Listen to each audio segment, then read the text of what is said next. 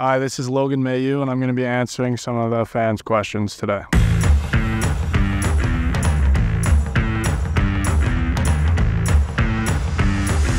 Jason Smith asked, What was the inspiration for your first name? X Men character, Wolverine, maybe?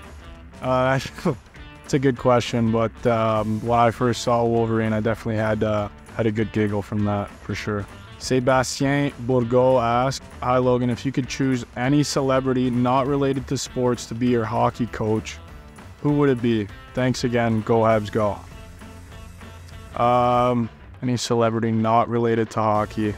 Maybe, maybe Kevin Hart for sure, or Shaq, one of the two. I just think it'd be funny to kind of have uh, have one of those two on the bench for sure. Christophe Dath asked, "Where did you learn to speak French? You speak it very well, by the way." Well, first of all, thank you, appreciate it.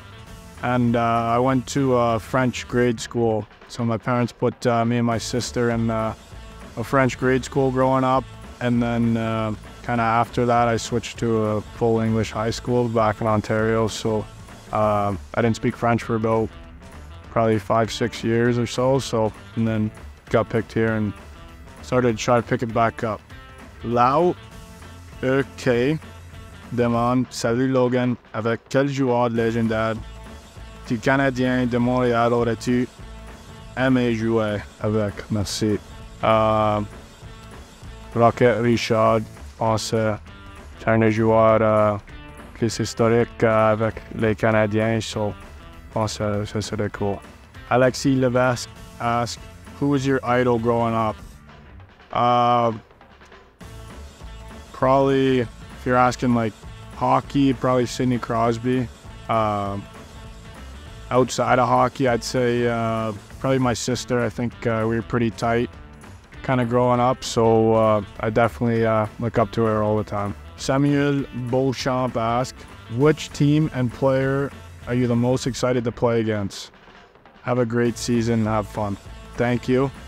And uh, I think playing against Pittsburgh would be pretty cool. Like I said, uh, Sidney Crosby was um, him and Malkin and Letang uh, were some of my favorite players growing up. So I think uh, to play against uh, Pittsburgh and, and those guys would be uh, would be pretty cool.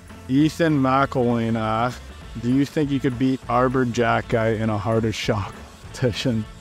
Um, that's a good question. I I don't think that I can. I think um, he's got a couple pounds on me, so I think he can step into it. But yeah, I don't think so. I think he might have me there.